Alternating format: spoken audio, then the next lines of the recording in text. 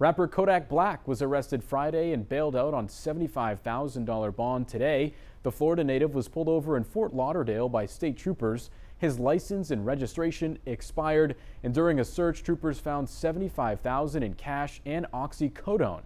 He was charged with possession of a controlled substance and drug trafficking.